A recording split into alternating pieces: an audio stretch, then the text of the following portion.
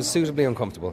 You know, compared to what the the people who who we're all representing went through in the story, the notion of traveling 4,000 miles through various seasons and uh, hot, arid desert and, and, and cold, frigid uh, Arctic, Siberian weather, it was nothing. You know, it was 12 hour days and we always had a cup of tea about 100 yards away from wherever we were. It's a total physical journey. These people literally trying to survive, putting one foot in front of the other for 4,000 miles through snow, whatever, hills, mud, the incredible desert heat, no shade, searching for water, you know, trying to find the littlest thing to eat day after day. So that aspect of it was exciting to me because I like the outdoors. I like being challenged. I like trying to make something out of nothing. There wasn't really any particular low point. Um, everyone got on well, and that was the most important thing. And I think we all did pretty well with our characters and stuff. Um, it was tough sometimes to be in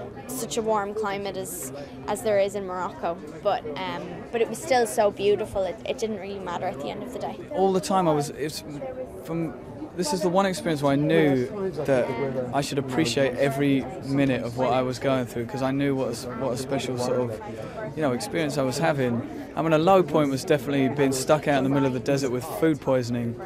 You know, having to shoot, sort of trekking up a giant sand dune.